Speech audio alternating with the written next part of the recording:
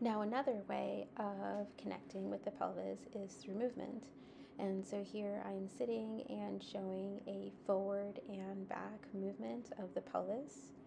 And then I'm transitioning into a side to side, so moving laterally and feeling for that shifting, weight shifting motion. So I apologize for the backside uh, view, but that way you can see what is happening with the pelvis and, and minimizing how much movement is happening in the torso.